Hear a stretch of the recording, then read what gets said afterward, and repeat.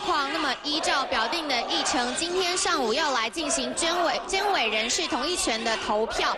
不过现在呢，国民党团他们开完了党团大会之后，现在全部聚集在议场的中间，来表示说昨天的投票是无效的。那么昨天下午呢，三点四十六分，民进党开始清场，让国民党团他们占领主席台，没有办法再继续占领下去。那么总共五十分钟就排除了整个国民党团。那么随后呢，立法院长游锡坤就宣布会议开始。那么民进党团提案监委人事的审查改为书面，就不用质询了。那么昨天呢，民进党团以人数优势表决通过。不过，工党团现在抗议说，昨天这个表决是无效的，因为他们认为说，有一些民进党立委明明人当时就不在场，那怎么投票呢？怎么以人数优势来通过？这应该是无效的投票。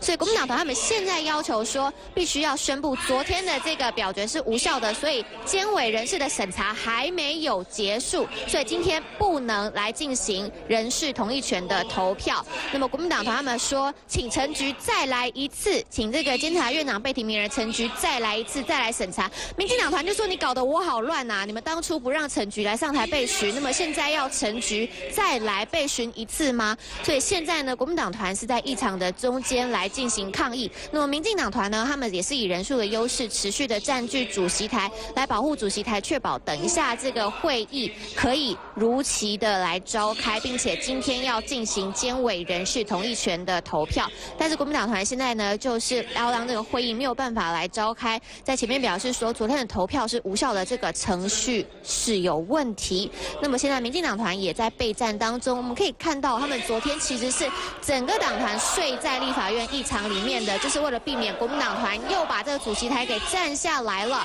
我们可以看到现在主席台上面主要是由民进党的南立伟、庄瑞雄还有杨耀来占住中间的位置。那么其实立法院的秘书长林志嘉也站在旁边，准备要让这个会议来召开了。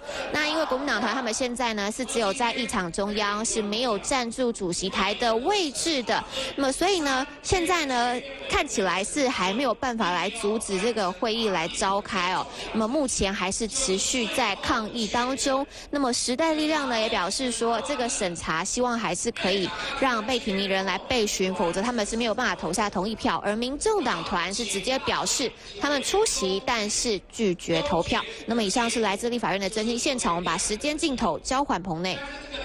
而且带大家看到的是九点钟到了议场内的情况，而议场外呢，一大早我们带大家来看这里呢，就有一群人跟远景爆发冲突，目前气氛又是如何？连线嘉轩告诉大家，嘉轩。好，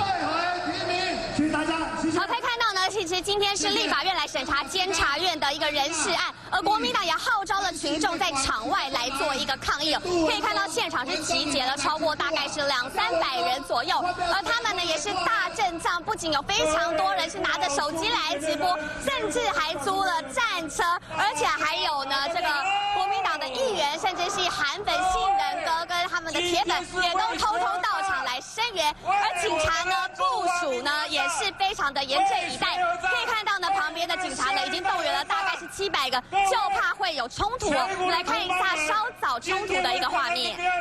我们要看到。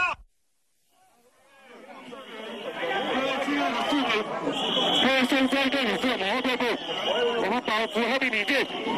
现场的先生、女士，请保持冷静。把这个东西冷静。我保持冷静。开先生跟你是保持和平理性，我比方威不能。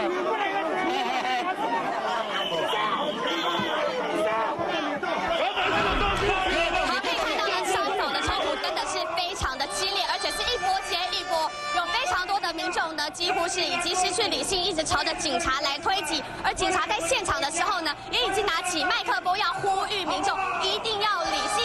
但是呢，还是有民众是拿着雨伞呢，要来这个对着警察来做挥打。